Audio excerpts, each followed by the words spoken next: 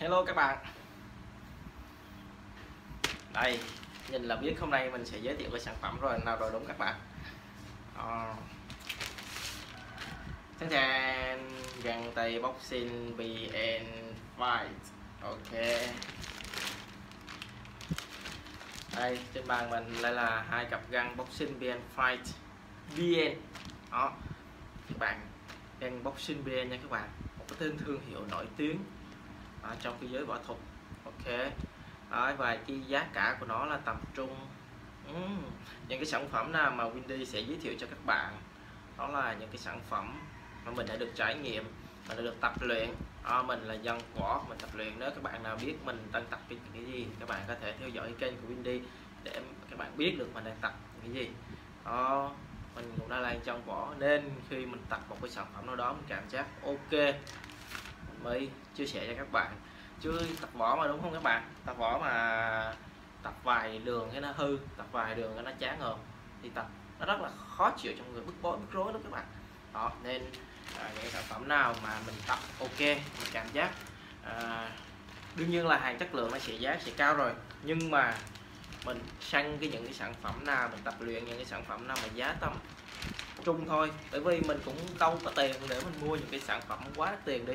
Đó Winnie thiệt ra mình không có tiền để mua những sản phẩm như da bò như Chivin những cái sản phẩm mà dòng cao cấp khác.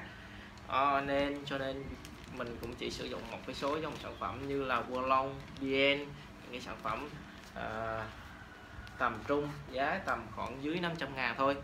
Đó, chứ không nên mình không sử dụng những sản phẩm là toàn là một triệu hai triệu trở lên mình không có đủ tiền các bạn.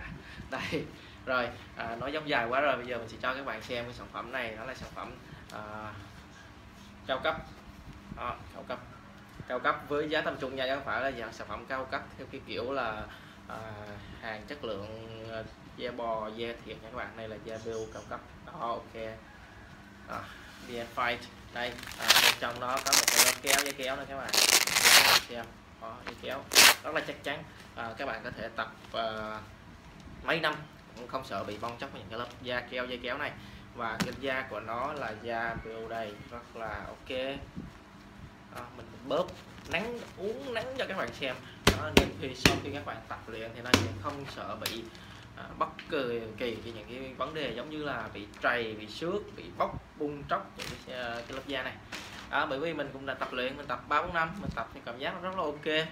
Mình sẽ chia sẻ lại cho các bạn ok không các bạn. Rồi à, và cái màu cam màu giống như màu trắng thôi.